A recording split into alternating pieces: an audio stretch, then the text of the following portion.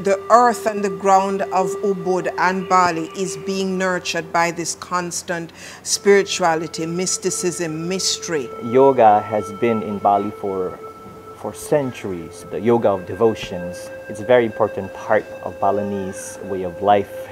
And Yoga Barn brought a different aspects of yoga, which is the, the physical aspects of yoga to Bali and introduced this to the world.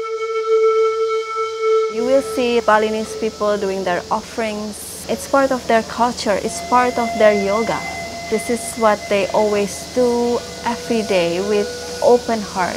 The marigolds on the floor, the little ling lang flowers, it's, it's just pure essence that, that the place oozes. It's this internal feeling that you feel like you're at home, you, you can rest here. There's still an intimacy to the yoga barn that you don't meet anywhere else. You walk through the gate, you come down that little passageway, there's a Kundalini class going on, they're chanting their mantras, there's drumming happening in another corner.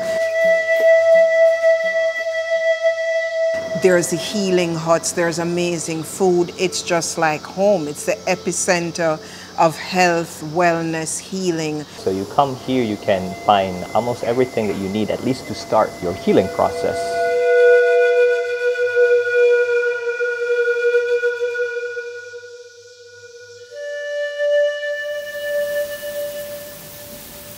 Truly I am committed to people being the best versions of themselves. So daily it happens in Yoga Barn. It can happen on the mat. It can happen off the mat. We have a lot of people that are repeat visitors and you see their transformations as they go away and come back. In one conversation with stranger can heal you and you can always find it in Ubud. There's a Balinese word, taksu, and for me it's the charisma, it's the charm, it's the magic of Bali that makes it what it is. It's the essence. Thank you for the smile, thank you for the nature, thank you for the spirit, thank you for the open heart. You know, Bali is known as the land of the gods and the goddesses. A huge part of what makes Yoga Barn what it is is Bali, Indonesia.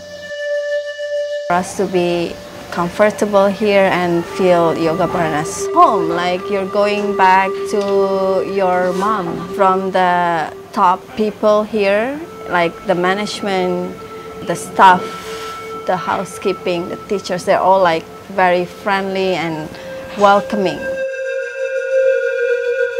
The big turning point for me was literally coming to Ubud. and I felt the magic and I felt for the first time that I'd met my people, my tribe. It's really life changing. It's a change spiritual, physically, mental. I grow at Yoga Barn. Every single part of Yoga Barn, I love deeply from my heart.